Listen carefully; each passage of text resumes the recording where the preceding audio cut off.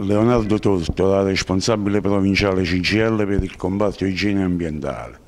Siamo qua stamattina per avere un incontro con eh, l'assessore Bellacosa e il commissario del Gaudio per discutere in merito a problematiche che riguardano i lavoratori del Consorzio Salerno 4, lavoratori oramai da mesi senza stipendio, lavoratori preoccupati per il proprio futuro eh, anche in virtù delle procedure unilateralmente adottate dal commissario del Gadio per mettere questi lavoratori in mobilità.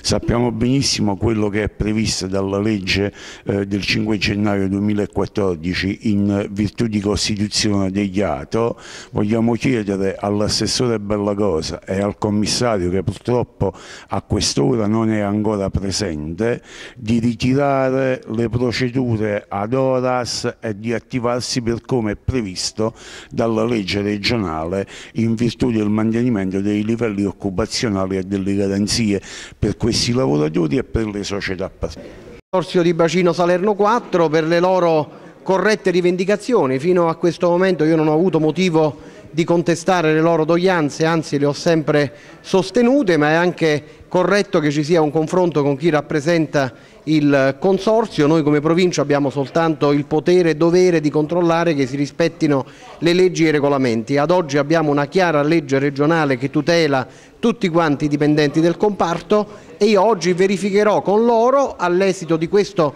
che vuole essere anche un tavolo tecnico che vengano rispettate leggi e procedure. Eh, portato qualche Però, mi avete chiesto, tra l'altro mi aveva chiamato del gas. No, mi dispiace, non voglio fare polemica. lui di vederci oggi a mezzogiorno. Chi c'è? Chi c'è invece?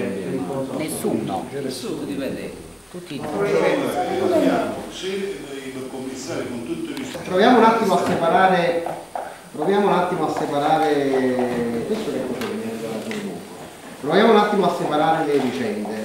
Perché io prima eh, vedendo anche i rappresentanti provinciali, in realtà io ho raccolto sollecitazioni anche in relazione alla, al provvedimento che ha fatto il commissario del Consorzio Salerno 2, magari su questo dico a Leonardo, a Gennaro, magari su questo ci tratteniamo un attimo a fine riunione. Nessuna comunicazione, cioè al di là della direttiva, ve lo voglio dire con, con chiarezza, io, io ho girato a qualcuno di voi che me l'ha chiesto la direttiva che avevo trasmesso a tutti i commissari guidatori, quindi a tutti e quattro i commissari guidatori, che è una direttiva chiara e semplice, che peraltro veniva fuori da un incontro, confronto con anche l'assessore regionale all'ambiente.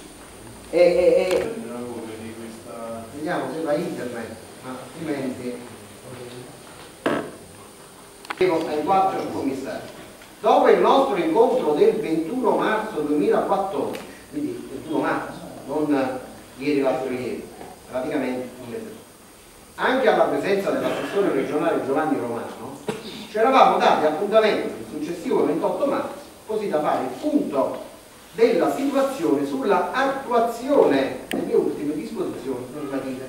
Il riferimento era chiaro alla legge regionale. Sta di fatto che il successivo 28 marzo 2014, cioè nel 21 marzo